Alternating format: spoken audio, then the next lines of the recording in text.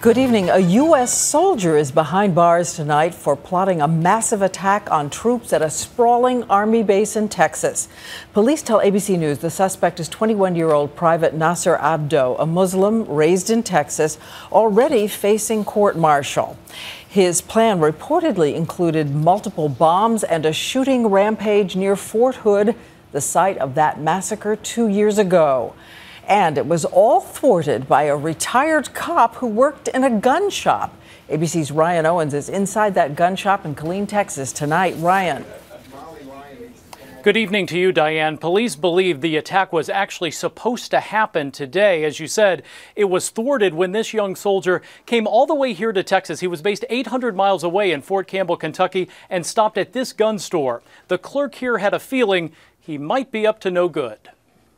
Investigators say this young soldier has been battling the Army almost since he joined it. I don't want to deploy because I believe uh, I can't both deploy and be a Muslim. 21 year old Naser Abdo didn't want to fight in Afghanistan, but sources say he was more than willing to cause bloodshed at home.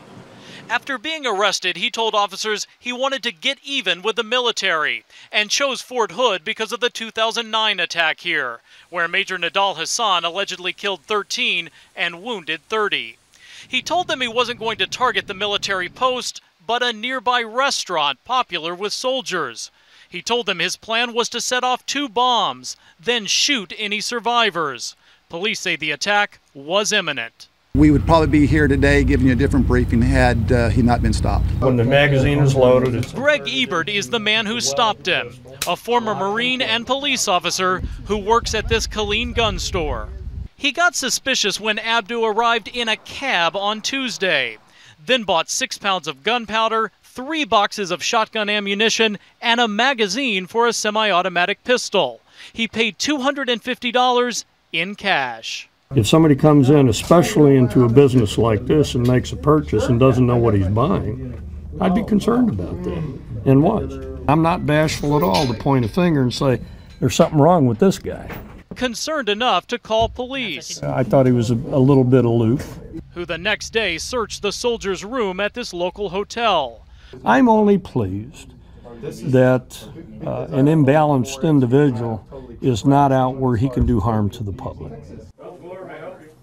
Inside that soldier's hotel room, they not only found the ammunition he purchased here, but a pistol as well as the components needed to make two bombs. Diane. Ryan, talk about see something, say something. That was in force. Thank you. And I want to bring in now our senior Justice Department correspondent, Pierre Thomas. I know you've been working the story all day. Any evidence of a wider plot? Anybody else involved?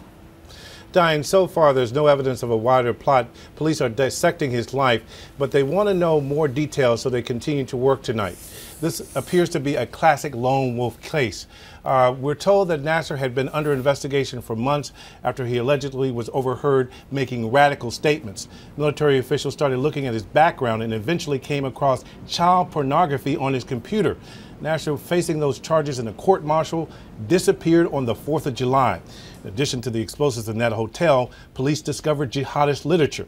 As the investigation continues tonight, Diane, the FBI wants to know did Naser become a ticking time bomb on his own or did someone encourage him? Naser was known to mention the name of radical cleric Anwar al-Awlaki, who is currently hiding in Yemen, but police have established no firm ties. No firm ties. Did he have materials from Awlaki? Well, again, our information is he, he was known to throw around the name, and that's one of the reasons why officials became concerned about it.